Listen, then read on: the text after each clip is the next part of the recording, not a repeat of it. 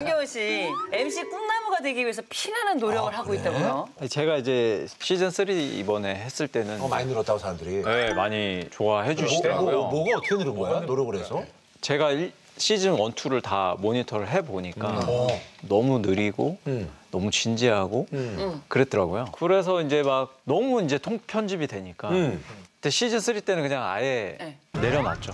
어, 내려놓고 막 치고 나갔어? 아 이제는 그냥 생각나는 대로 바로바로 얘기해야 되겠다. 아, 생각하지 않고 그냥 네. 바로 내뱉기. 네. 어. 그래서 완전 내려놓고 하니까 편하게 하니까 그래도 어. 어, 이제는 좀 시청자를 대변하는 아, 그래? 대변인이다 어, 어, 어. 이런 식으로 이렇게 댓글도 많이 어, 그래? 달아주시더라고요. 어, 죄송해요. 어, 카- 카메라가. 아니, 아니, 내가 너 많이 도와준다. 많이 도와줘. 어, 어, 어. 털을 조금만 올려오시면 어떡해.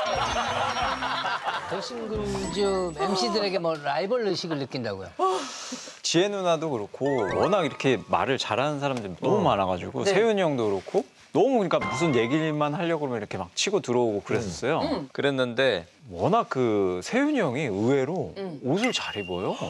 아, 의상에 의외로. 되게 신경 써요, 네. 오빠. 그래서 옷을 좀 제가 따라잡으려고. 어. 정경 모델 출신 아니야. 네. 어. 어, 근데 제가 좀 딸리는 것 같아서. 그 정도예요? 아, 경훈이는 진짜 모, 네? 옷을 잘 경훈이 입더라고요. 모델 포즈 한번 딱 아니, 보여줘 봐. 경훈이 진짜 워킹 한번 좀 오케이 그래. 보여줘. 아, 정경훈 씨가 우리 시킴 나요. 딸린다니 말이 안 모델 돼. 출신이야. 우리 또 야, 판타지야 서서 전형적인 이와 아이의 패션이다. 서브 컬렉션.